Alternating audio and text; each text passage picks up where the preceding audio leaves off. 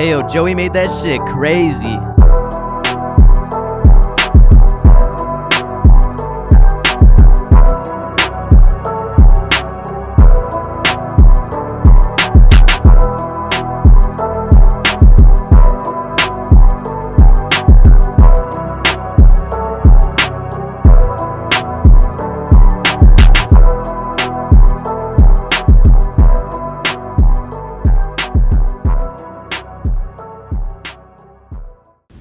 What's up, everyone? So today on the Land Cruiser, we're going to be relocating the windshield washer fluid reservoir to the back, getting the Land Cruiser ready for a dual battery setup.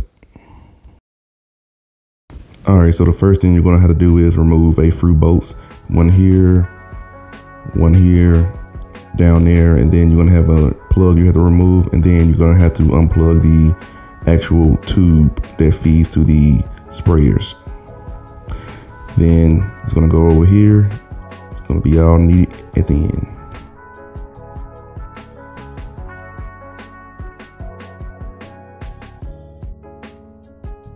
All right, so now that we have everything removed, you have a big open spot here ready for the dual battery that's going to join to my primary battery.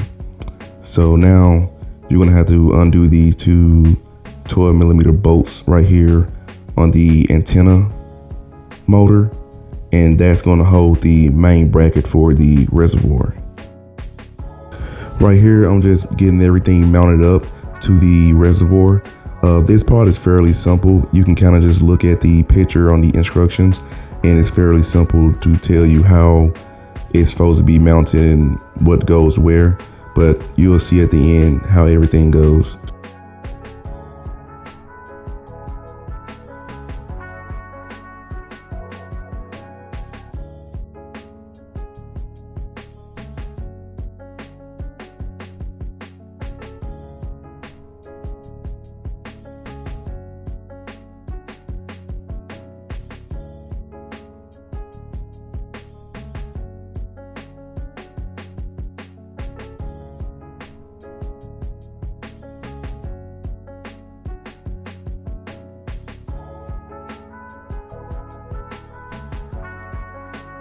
So actually, I was wrong earlier.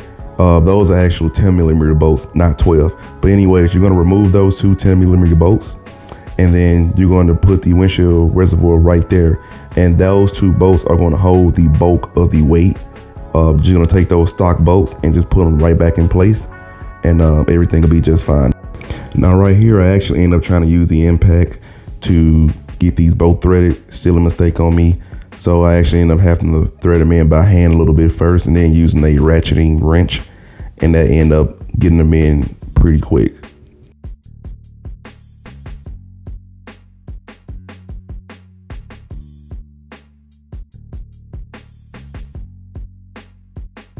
So on this portion, you're simply going to remove this stock bolt that holds in the air box.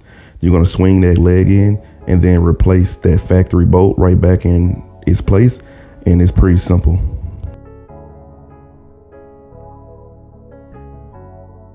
Ayo, Joey made that shit crazy.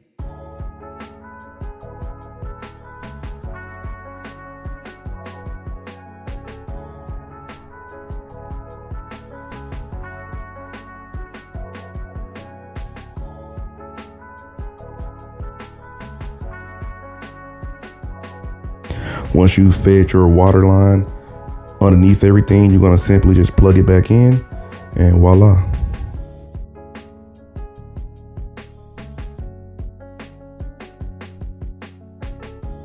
This has nothing to do with the install, but my roommate is over here installing rock sliders on his 80 series Land Cruiser. So figure I'll show you guys a little snippet of some work him, of he's doing. These are a DIY weld together kit. Pretty inexpensive, but man, he really need these bad. You can actually see a dent right there above the sliders. All right, so back to it. So next, what you have to do is you have to cut the stock sensor, the uh, plug, cut the wires, and then you're gonna have to solder everything together to the two wires that's provided in the kit. There's a black and blue wire, and it's gonna go to a black and blue wire on the stock plug. And then you just solder those wires together, extend the plug, and pretty simple as that. And um, once you plug everything up, everything should work just fine as intended.